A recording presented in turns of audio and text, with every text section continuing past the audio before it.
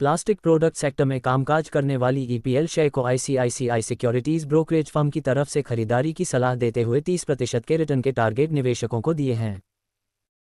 EPL limited जिसे SL प्रपैक limited कहा जाता है, ये कंपनी प्लास्टिक पैकिंग मटेरियल का मैन्युफैक्चर करने में एक प्रमुख कंपनी है, जिसके तहत के लिए कंपनी विश्व में प्लास्टिक ट्यूब में एक लार्जेस्ट मैन्युफैक्चरर कंपनी है, जिसके तहत कंपनी जर्मनी, रूस, चीन, मैक्सिको यूएसए जैसे देशों में अपनी माल की बिक्री करती है। तो कंपनी के जो प्रोडक्ट है, वह असल में ब्यूटी कॉस्मेटिक फॉर्मा हेल्थ के क्षेत्र में इस्तेमाल किए जाते हैं।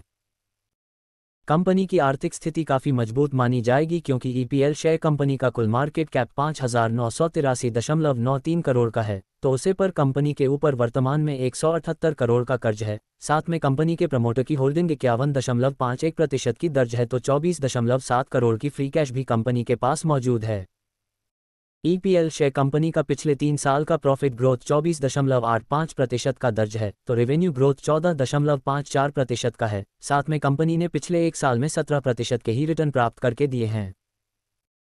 वर्तमान में ये स्टॉक एक पर ट्रेड कर रहा है और इसका बावन वीक हाई लेवल दो रुपये का तो बावन वीक लो लेवल एक का दर्ज है। आईसीआईसीआई सिक्योरिटीज ब्रोकरेज फर्म की तरफ़ से खरीदारी करने की सलाह देते हुए इसका जो टारगेट प्राइस है वह दो सौ प्रति शेयर रखा गया है, जिसे निवेशकों को ये तीस प्रतिशत का रिटर्न प्राप्त करके दे सकता है।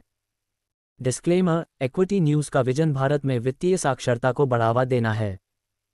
हम जो सामग्री पोस्ट करते हैं वह विशुद्ध रूप से शिक्षा और मनोरंजन के उद्देश्य से है। हम सभी पंजीकृत वित्तीय सलाहकार नहीं हैं। इसलिए हम कोई निवेश या वित्तीय सलाहकार सेवाएँ प्रदान नहीं करते हैं। आप अपने पैसे और अपने फैसलों के लिए पूरी तरह जिम्मेदार होंगे। कृपया अपने वित्तीय निवेश के लिए किसी से भी पंजीकृत वित्तीय सलाहकार से परामर्श लें।